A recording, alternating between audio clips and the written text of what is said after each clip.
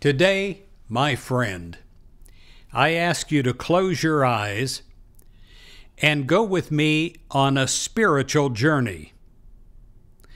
I pray that you will go through the open door of calm, that God will create in you a new sense, a new power, a new ability to have calm and peace in your life. Right now, you're going through God's door.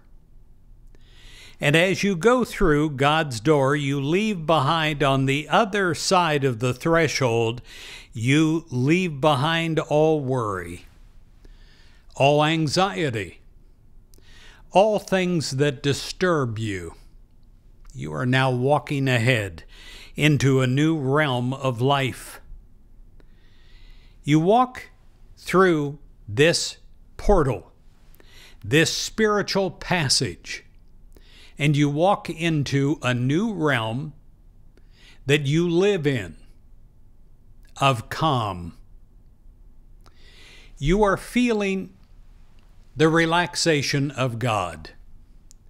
The relaxation of God is in filling you, and it is in filling your mind. It is in filling your soul. It is manifesting in your body. You are feeling. You are manifesting the tranquility of God.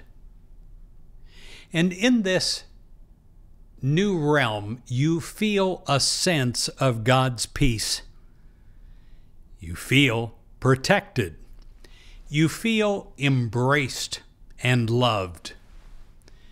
You feel a feeling that tells you that everything is going to be all right. And you know this because you are connected to that that is your help in every need. And your help in every need gives you a sense of calm it gives you a sense of stability. It gives you a presence and a power and a peace that passes human understanding.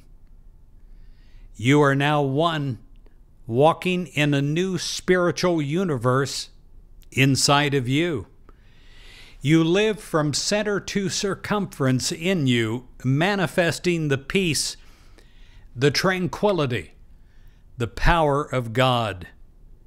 No matter what is happening outside of you, you are not disturbed by this at all, because within you is the calm relaxation of God's continuous good.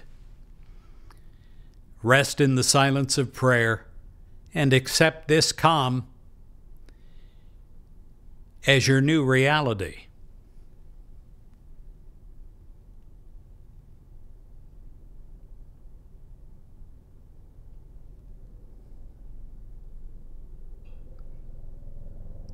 Thank you, God, for the permanent change in me. I pray that this prayer is not a one time, one event, but a forever change permanently in me and through me. May every part of me manifest this continually. May I live in this new realm. May I realize that I walk through this door but once, and but once is all that's needed and I am a new person in Christ. I am a calm, centered, powerful person in Christ. And I allow the good of God to be manifest and empowered in my mind, my soul, and my body. In Jesus Christ's name, amen.